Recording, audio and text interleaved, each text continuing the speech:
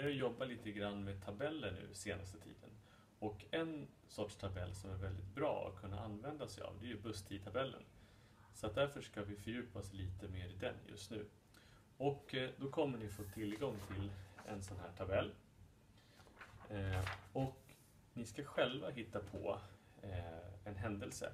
Och då vill jag att ni ska hitta på att ni ska träffa någon person, någon kompis eller så, vid Gullmarsplan. Och tiden får ni bestämma själva.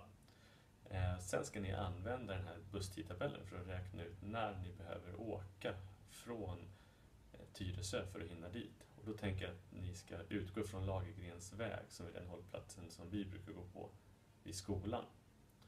Frågorna till det här finns ju i filmkollen här nedanför. Där finns också en länk till den här busstidtabellen. Och den kan ni gå in på. Jag håller upp den så här också för att jag tänker att det kanske räcker att man pausar filmen här och så kan man titta på tabellen så.